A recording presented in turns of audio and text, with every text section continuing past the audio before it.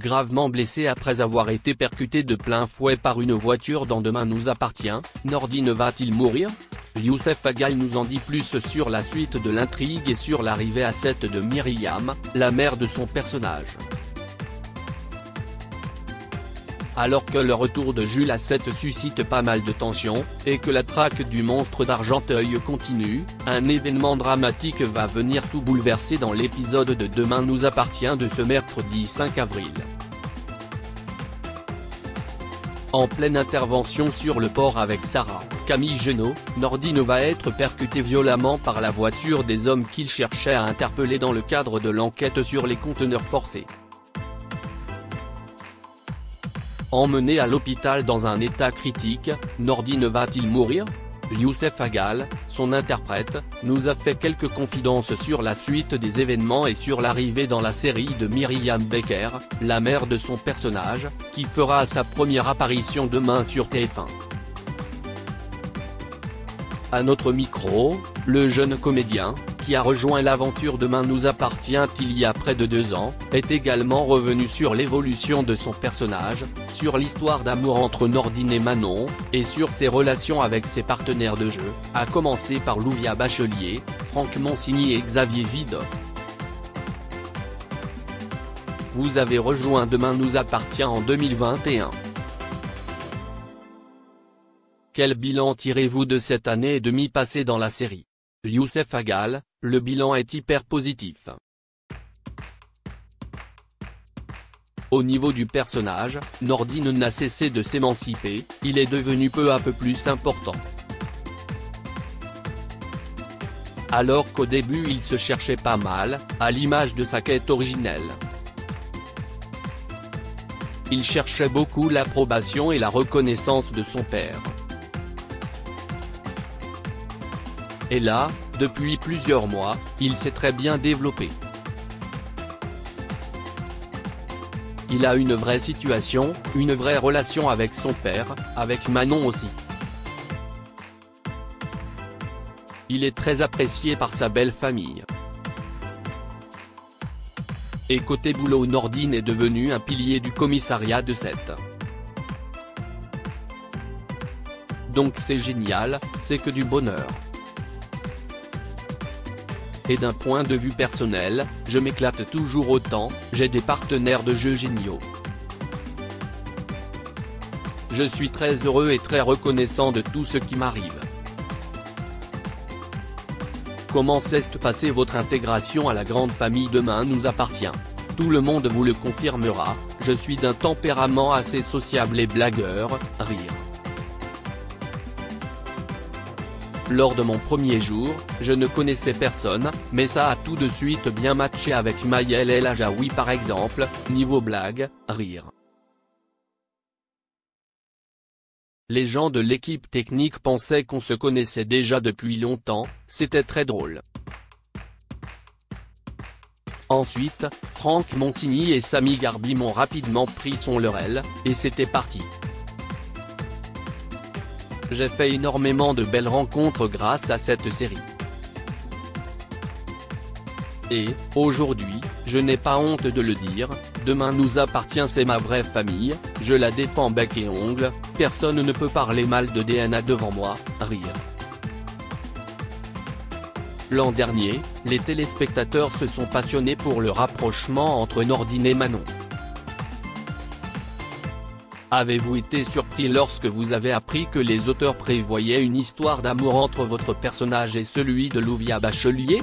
Je crois que ce n'était pas vraiment prévu à la base, surtout que les choses étaient un peu floues avec le personnage de Sophie Novak, incarné par Carole Bianic. Donc, clairement, je ne l'avais pas tellement vu venir et je ne savais pas dans quelle direction allaient nous emmener les scénaristes. Et quand on nous a annoncé que c'était à l'occasion du stage de Manon au commissariat que nos personnages allaient se rapprocher et que cela allait déboucher sur une histoire d'amour, on était ravis Louvia et moi. Même si ça a mis un peu de temps à se faire, rire. C'est une super relation, et j'ai l'impression que ce couple plaît beaucoup au public. Et pour Nordine comme pour Manon, cette histoire d'amour a été une sorte de déclencheur. Ça a permis de les positionner davantage dans l'univers Demain nous appartient et de les affirmer. C'est en grande partie grâce à cette histoire d'amour qu'ils sont autant appréciés des téléspectateurs. Comment se passe la collaboration avec Louvia ça se passe très bien, on a un rapport grand frère-petite sœur qui fonctionne super bien. Dès le début on s'est très bien entendu. On passe beaucoup de temps ensemble, on travaille nos textes, on réfléchit à comment on pourrait améliorer certaines situations. On ne fait pas semblant et ça se voit à l'image je crois donc on est content. Ces derniers mois, vos intrigues étaient surtout axées sur la comédie et la romance que suscite le couple Nordine-Manon. Mais depuis quelques jours Nordine fait partie des protagonistes impliqués dans la nouvelle arche de Demain nous appartient, le choix de Martin. Vous étiez content d'aller vers quelque chose de plus dramatique? Totalement. C'est vrai que Nordine a ce côté très rigolo et blagueur, même si la plupart du temps c'est un peu malgré lui, rire. Il y avait une petite intrigue un peu dramatique avec le personnage de Valentin, incarné par Thibaut Cateline, mais ce n'était pas quelque chose d'énorme. Et là, quand on nous a annoncé qu'on allait tourner cette arche, le choix de Martin, on était très heureux avec Franck, Louvia et Xavier Vidoff, qui joue Jules, car on a tout de suite senti qu'on allait pouvoir développer notre palette de jeux. Ça me permet de me challenger, de sortir ce que j'ai l'habitude de faire avec Nordine, et de montrer aux téléspectateurs une autre facette de ce personnage-là, un registre un peu plus dur. À l'image de ce qu'on a pu voir récemment lors de la confrontation avec Jules à la soirée, durant laquelle Nordine a été présenté sous un jour un peu plus viril, un peu plus bagarreur. Donc c'est génial, je suis ravi d'explorer de nouvelles choses. Quel souvenir gardez-vous de ce face-à-face tendu entre Nordine et Jules? Contrairement à ce qu'on voit à l'écran, c'est tout sauf tendu entre Xavier et moi sur le tournage. Xavier c'est mon frérot, on s'entend super bien. On passe notre temps à se vanner. On s'est régalé à tourner la séquence du coup de poing. Il y avait plus de 80 figurants, on était tous réunis avec Clémence Lassala, Adé, Louvia. Et à l'opposé de ce que vivent nos personnages, Xavier et moi avons une très belle relation. On aurait pu être les deux fils de Martin finalement, rire. C'est hyper fraternel et soudé entre nous. Dans l'épisode de ce soir, Nordine est percutée par une voiture et se retrouve à l'hôpital, gravement blessée. Doit-on s'inquiéter pour l'avenir de Nordine et votre avenir dans la série? Possible, possible, rire. C'est un choc qui n'est pas anodin, si est certain. Mais, sans en dire trop, je ne pense pas qu'on puisse s'inquiéter pour l'avenir de Nordine. Malgré tout, c'est une situation intéressante. On s'est beaucoup attaché à Nordine donc, de le voir dans cette situation, entre la vie et la mort à l'hôpital, ça fait forcément quelque chose, c'est émouvant, ça nous touche.